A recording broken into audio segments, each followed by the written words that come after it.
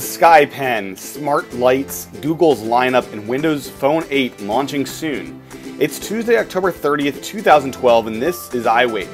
I'm Tim Chaten, and this is what's going on in the Apple world today. Good morning, everyone, and welcome to another edition of iWake. So, on the show today, I've got a few stories, and just a few. The stories I do have are some good ones. First up is LiveScribe.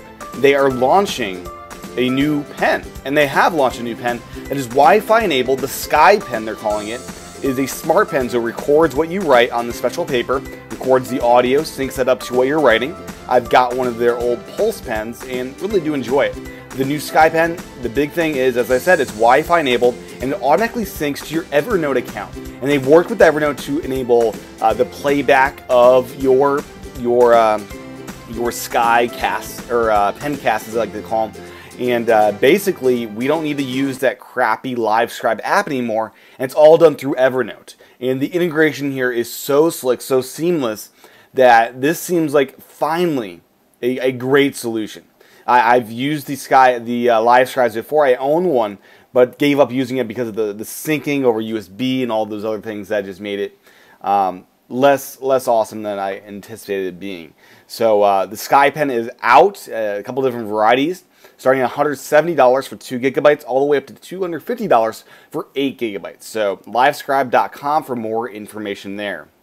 Next up, Philips is uh, has launched or is launching uh, basically these smart lights. According to MacRumors, they can be set up in minutes.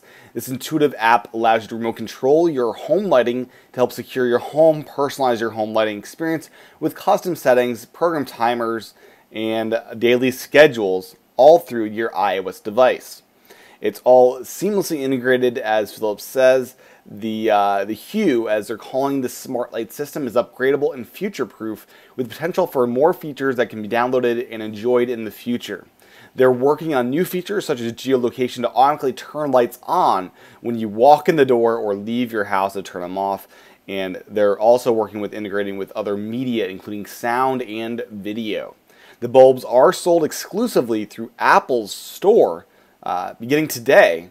The Hue is $200 for three bulbs plus the wireless link that can support up to 50 bulbs. Additional bulbs are $59 a piece. So that's what it is, the Hue. I'm very excited about this as I am in fact moving to an apartment, so I'll have control over lighting. So I've been looking into the, getting the Wemo and other automation devices and uh, this seems like a very cool solution. These are LED base lights. They should last a while. But to me, it seems a little pricey. For $200, you get three bulbs with wireless link, but the $59 per bulb seems exorbitantly expensive. Now, I may find that's not the case as I look into how much bulbs actually cost these days, but my initial inclination is this is pricey, and hopefully the price goes down. Uh, and uh, so that's not to say I may not get this. I may get this in the end because of the convenience factor and the coolness factor. That may do it for me. That you know, I really want to automate my home. I want to be able to control every part of it, every plug, every light bulb. I want control over, and that may be uh, what does it for me. I may end up getting this. So. I will let you know as I do move into an apartment and I get things like the Hue, perhaps. Next up, I just want to mention that the iPad mini has sold out of its initial stock run. The black slate models are now two week shipping time for all capacities, and uh, the two week ship time uh, is curious as the 3G or LTE ones are mid November. So I'm curious, two weeks first mid November, which is actually first there. So, anyways, uh, next up, uh, we've got some competitor news. First up is Android and Google. So Google uh, did do uh, their event via press releases instead. With Hurricane Sandy, they did cancel their event, but they still released their products as planned. Google's updating Android to 4.2, which they're calling a new flavor of Jelly Bean to basically say it's very similar to Android 4.1. So uh, the first big feature is Miracast. Basically, AirPlay, but more widespread support amongst different devices. Uh, Google's Open, as you know. So, industry standard Wi Fi display sharing protocol that allows new devices like the Nexus 4, which I'll talk about later, to stream audio and video to televisions. Miracast boxes for existing TVs are expected to go on sale from a variety of companies very soon, and they expect them to be under $99, uh, kind of uh, hitting at Apple TV's price point. Miracast will soon be built directly into TVs. LG is already committed to building it into all of their 2013 TVs, uh, smart TVs. Google says developers can use each screen independently for big screen gaming and other apps. Uh, 4.2 also includes gesture uh, typing keyboard, basically very similar to Swype uh, for those familiar with that. They've also uh, integrated something similar to uh, iOS's panorama mode in a different in a different implementation. Basically, uh, the camera prompts you to line up and take overlapping shots of a scene, which then sketches it together to make an impressive panorama, kind of like Street View, as they say. It's uh, basically it's called Photosphere. Uh, there will be a viewer for Google Plus as well as an Android 4.2. Uh, but uh, yeah, pretty cool there. But yeah, another thing Apple's already done. Uh, something Apple hasn't done is multiple user support on tablets. 4.2 is adding that. So if you have a tablet, multiple users. Each user gets their own apps and data. If the same app is installed on both user, it takes up just one amount of space. You don't have to download it twice. It's already there, ready to go. Uh, other notable improvements include Daydream Mode, essentially a screensaver. I'm not sure why you'd want one on a tablet, but anyways, uh, the ability to take actions directly from expanded notifications, a number of accessibility improvements, including the ability to zoom in on any part of the screen, kind of like iOS does already. Widgets are now supported on the lock screen, and you can swipe directly into the camera, kind of like on iOS. So, a bunch of new improvements. Uh, many that we already have in iOS, many that are found on Windows Phone 8 and uh, Kindle devices. Uh, but uh, yeah, anyways, a good improvement there. Uh, finally, iTunes Match is being copied not by Amazon alone, but now by Google. So they will scan your music collection and song match it against Google Play's catalog, and that'll be automatically added to your online library with needing to upload it. Uh, the thing here, though, is their library on Google Play is less than that of iTunes, so you may find that your music is not matched as frequently as iTunes does. It will be available in Europe at launch on November 13th and is coming to the US soon after. Uh, big thing here, it's going to be free. Free storage for all your music, free matching, free syncing. Uh, so iTunes Match is a paid service. This will be free. Uh, they're also launching. Google is launching their Google uh, their music services in more countries. Uh, they're uh, branching outside the United States, which is a good thing for sure. In other news is their device lineup. So us at Apple, we have iPad Minis, iPads, iPhones, iPod Touches, things like that. We have three devices to talk about here with Google. We have the LG Nexus 4 launching on November 13th with T-Mobile starting at a price point of 299. It's got a 4.7 inch display. So yes, once again, Google is going big, big, big. These phones will soon be 10-inch phones. Um, I, I, kid, but it gets bigger every year. I believe the Nexus, uh, Galaxy Nexus was 4.5 inches. I'm not exactly sure, but that's memory I'm going off there. Uh, Google has not included LTE in this model, as we'll talk about a little bit. Also, let me talk about that now. The Verge basically defends Google's decision here that, oh, the evil carriers are to blame, that, oh, we can't include LTE because of that that's a bunch of baloney. It really is. I mean, they could do it. They could do one model that has LTE, and if you have a carrier that works with it, great. If not, that's okay too. Kind of like how the new iPad, the iPad 3, did that.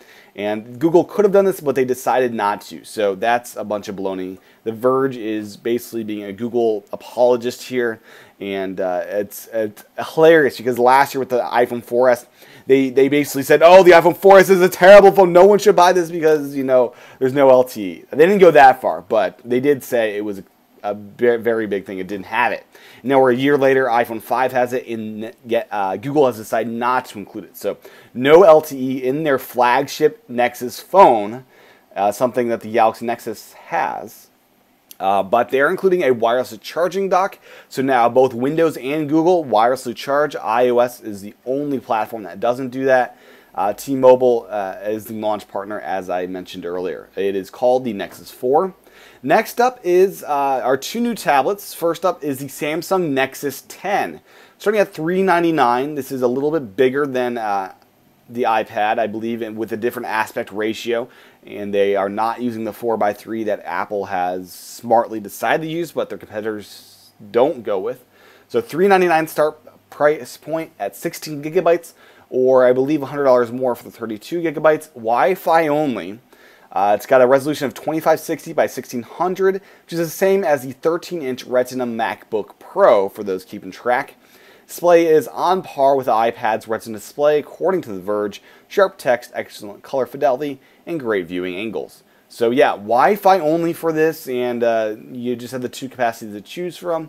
Seems like a good product. We'll see. Uh, it is running Android, which, again, I'm not a fan of, but some people like it. Uh, last up is the Nexus 7. Big thing here is capacity. It is now offered at 200 bucks for 16 gigabytes and 32 buck, uh, 32 gigs for 249. These are both Wi-Fi only, but Google is launching an HSPA Plus model, 32 gigabytes at $300. So now the iPad mini is competing against the $199 price point for the same capacity. And for double the capacity, uh, you get HSPA Plus at $300. So uh, basically, the iPad mini is now put up against even higher competition. But once again, I have to mention the iPad mini is a 7.9 inch device versus a 7 inch device. Different class of tablet, and it, it is in a different price point, and it's there for a reason. And perhaps next year, as Apple scales production and is able to get lower price points, that will become less of an issue. Now, closing out the show is some Windows Phone 8 news. We've got two stories today. First up, uh, they're in the middle of their event right now. I wanted to do the show and not delay, but uh, so here's what we know so far. First up, they're integrating something called Kids Corner. So what is Kids Corner? Well, Kids Corner is uh, basically it looks like to me an app. So there's this little icon on the home screen called Kids Corner. When you load it up, that's kind of where kids go. They're kind of stuck in there, uh, and it enables them to have you know show them whatever games you select, you know, music, uh, videos, uh, and apps. You're able to select which ones they're allowed to see. So it's basically a way to hand your phone to your kid and have them play with your phone, but play in a safe area. So that is Kids Corner. They've also announced Pandora Radio, Cut the Rope, Urbanspoon, and many more apps are coming to Windows Phone 8. That event is currently in progress. I will let you know as more details do come out. So that is the show today. That is what's going on in the Apple world today. Thanks for tuning in. You can find the show notes at iwakepodcast.com. I also do this thing, iWake Podcast again. Uh, iWake Again, I should say. Uh, my heart is filling up, so I'm trying to talk a little bit faster now.